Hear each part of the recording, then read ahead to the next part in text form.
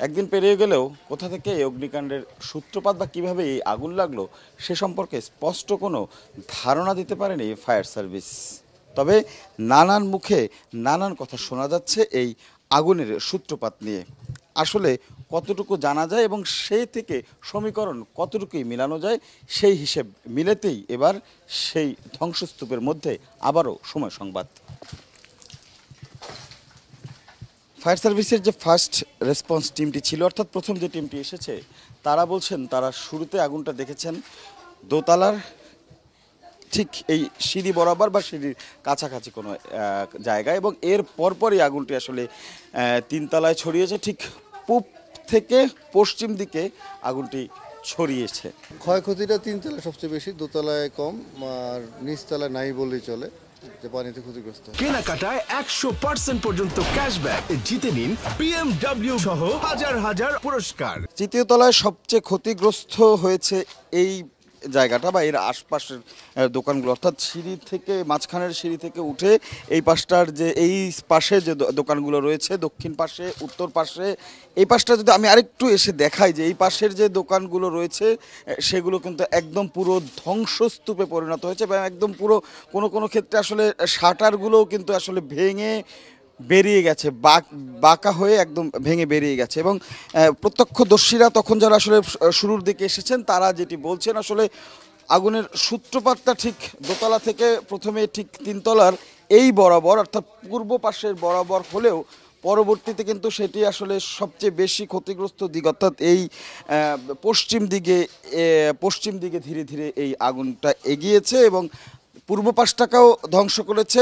পাশাপাশি এই এই পুরো এলাকা একদম ছাই ভস্যে পরিণত করেছে। কেনাকাটায় একশো পার্সেন্ট পর্যন্ত ক্যাশব্যাক। জিতে নিন বিএমডব্লিউ সহ হাজার হাজার পুরস্কার। এখানে আর কি ধাপ ধাপ করে জ্বলতেছিল আর কি। তখন আমরা এদিকে সাহায্য করতেছিলাম নিবানোর জন্য। উত্তর দেখে হ্যাঁ মানে আস্তে আস্তে এখানে আস্তে আস্তে আর কি। মানে আস্তে আস্তে এখানে আস্তে আস্তে মানে একদম সব দেখেন না কি হয়ে গেছে। এই দোকানে ভাই তিন লক্ষ টাকা ভাই। ক্যাশ রেখে গেছে আর ওই দোকানে ভাঙতি টাকা ছিল ভাই। ওই দোকানে ভাঙতি টাকা ছিল ভাই। আমার একটা কোনা ভাই আমি নিয়ে যেতে পারি নাই ভাই দেখেন আমি ব্যাগ নিয়ে এসেছি ভাই বাসার থেকে যদি আমার টাকাগুলো পাই ভাই ব্যাগে করে নিয়ে যাব ভাই আমার দুইটা বাচ্চা ভাই আমি নিশ্চয় হয়ে গেছি ভাই সবচেয়ে ক্ষতিগ্রস্ত যে জায়গাটা, সেটি হচ্ছে এই জায়গাটা। এই জায়গাটা একদম পুরো বলা যায়, জলে পুরে একদম ভস্মীভূত হয়ে গেছে এবং এখন পর্যন্ত ফায়ার সার্ভিসের যে ধারণা বা তাদের, তারা যেটি বলছেন যে আগুনটি দোতলা থেকে লাগলেও সেটি কিন্তু আসলে এই পাশটাতেই কোনো এক জায়গা থেকে শুরু হয়েছে এবং এই পূর্ব পাশ থেকেই ধীরে ধীরে সেটি আসলে এই পশ্চিম দিকে গেছে এবং যাওয়ার পথে আসলে যত দুই পাশেই তারা এই আগুন যতগুলো দোকান পেয়েছে সবই এমন লণ্ডভণ্ড করে দিয়েছে ভস্মীভূত করে দিয়েছে। প্রথমে এই পূব দিকে পশ্চিমে যায় নাই। পশ্চিমে এই গুলচক্করের এই পর্যন্ত ফুটছে হেবারে ফুরে নাই। মাঝখানে একটা গুলচক্কর আছে গুলচক্করের থেকে নেওয়া পূব দিকে এই দিকে করে একবার ক্লিয়ার একবার পরিষ্কার ফুটে সার সার হয়ে গেছে। ফুটছে মানে এক সমানই ফুটে গেছে এই দিকটা ফুটে এই দিকে গেছে।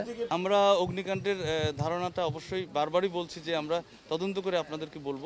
তবে অগ্নিকাণ্ডের বিভিন্ন প্রাথমিক ধারণা আমরা মানে আমরা প্রথম থেকে জানার চেষ্টা করি। এটা শর্ট সার্কিট হতে পারে, এটা অন্যান্য কেউ হয়তো ছোটোখাটো রান্নার অথবা কেউ সিগারেট খেয়ে, এরকম বিভিন্ন কারণ হতে পারে। তা আমরা চেষ্টা করছি এই তদন্তটা দ্রুত শেষ করার জন্য। সুপারমার্কেটের এই পোড়া গন্ধের সাথে মিশে আছে শত শত ব্যবসায়ীর দীর্ঘশ্বাস। তারা বলছেন একের পর এক এমন বাণিজ্যিক প্রতিষ্ঠানের এই দশায়, ঈদের আগে তারা যেমন পথে বসেছে, এগুলো যেন আর না হয়। নিয়ন্ত্রণকারী সংস্থাগুলো, সরকারের সংশ্লিষ্ট দপ্তরগুলো একটু তৎপর হলে হয়তোবা এ ধরনের পরিস্থিতি এড়ানো যায়। বিশেষ করে নিয়মিত নজরদারি বাড়ালে হয়তো এরকম বঙ্গবাজার কিংবা নিউ মার্কেটের মতো পরিস্থিতি বারবার দেখতে হবে না।